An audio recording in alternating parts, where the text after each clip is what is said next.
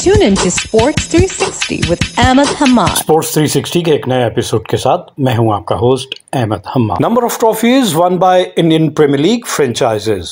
Royal Challengers Bangalore finally entered the list. So far, Mumbai Indians have won the title on eight occasions. Chennai Super Kings are at the second place with seven titles. Kolkata Knight Riders have won the event twice. Sunrise Hyderabad also won the event twice. Rajasthan Royals has just won Indian Premier League once. Gujarat Titan also won the event only one time.